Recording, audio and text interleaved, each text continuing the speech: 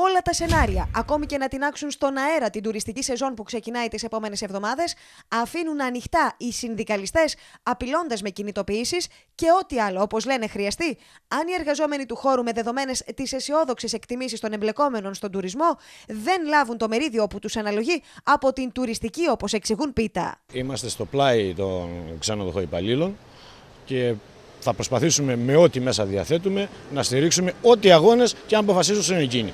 Αν είναι να τεινάξουμε στον αέρα μια τουριστική χρονιά, εάν δεν υπογράψουν, θα το κάνουμε και αυτό. Πολύ καλά θα κάνουμε. Εμείς ε, κάτι αντίστοιχο ε, θα το κάνουμε. Όπου, όπου δούμε ότι υπάρχει μαύρη και ασφάλιση εργασίας. Στο επίκεντρο μπαίνει όχι μόνο η σύμβαση εργασίας που δεν έχει υπογραφεί στο Εράκλειο, λόγω διάλυσης της Ένωσης Ξενοδόχων, αλλά και οι συνθήκες εργασίας που ακόμη και σε ερώτηση στη Βουλή, που υπογράφεται από 32 συνολικά βουλευτές του ΣΥΡΙΖΑ, περιγράφονται με τα μελανότερα χρώματα. Από εξαντλητικά ωράρια, μαύρη εργασία, εκβιασμούς, μέχρι και εκμετάλλευση για τη μαθητεία που επί της ουσίας, όπως λένε, υποκαθιστά την εργασία κανονικών εργαζόμενων και όλα αυτά σε ένα καθεστώς που λαμβάνει εκρηκτικές διαστάσεις λόγω της υποστελέχωσης των ελεγκτικών μηχανισμών. Η αύξηση του τουρισμού αντί να επιφέρει αύξηση των θέσεων εργασίας, έχει ως αποτέλεσμα την παράνομη αύξηση ωραρίων των υπαλλήλων χωρίς ανάλογες αυξήσεις αποδοχών. Εργαζόμενοι που έχουν προσληφθεί για τετράωρη εργασία αναγκάζονται πολλές φορές να εργάζονται 10 και 12 ώρες. Υπάρχουν και ξενοδοχεία τα οποία καταστρατηγούν τα πάντα, και το 17% και τις συμβάσεις, αυτά που υπογράφουν. Ε, υπάρχουν και άλλοι που έχουν ωράρια 10 και 12 ώρες, αυτά είναι όμως μειοψηφία. Ευτυχώς το Ηράκλειο είναι η μειοψηφία, δεν είναι η πλειοψηφία των ξενοδόχων.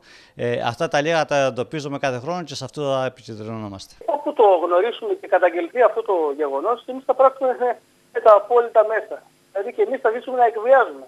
Θα εκβιάσουμε τον ξενοδόχο, θα εκβιάσουμε την ταβέρνα, θα εκβιάσουμε έτσι ώστε να λυθεί επιτέλους το θέμα αυτό. Αν και στα Χανιά, όπως διευκρίνησε ο πρόεδρος του Εργατικού Κέντρου, είναι σε ισχύ η σύμβαση εργασίας για τους εργαζόμενους στον τουριστικό κλάδο, πρόθεσή τους είναι να μην αφήσουν κανένα περιστατικό εκμετάλλευσης που θα καταγγελθεί, αν και όπως διευκρίνησε, οι συνθήκες μεσαίωνα που διαμορφώνονται σε κάποιες επιχειρήσεις λειτουργούν εκβιαστικά προς τους εργαζόμενους με την απειλή της ανεργίας. Όσο υπάρχουν 1.270.000 καταγεγραμμένοι άνεργοι, τόσο πιο πολύ πιέζουν, έτσι, πιέζουν οι εργοδότες έτσι ώστε να δημιουργούν αυτές τις συνθήκες του μεσαίωνα. Και στο Ηράκλειο πάντως, από το Σύνδεσμο Ξενοδοχοϊπαλλήλων, έγινε σαφές ότι εφόσον δεν υπογραφούν το επόμενο διάστημα οι συμβάσεις, οι κινητοποιήσεις ακόμη και με την έναρξη της σεζόν θα πρέπει να θεωρούνται δεδομένες. Αυτά πιστεύω εγώ ότι είναι τερτύπια των ξενοδόχων και επικαλούνται την απεργία των ε, ε, δικηγόρων. Ε, πάντα ήταν σκληροί.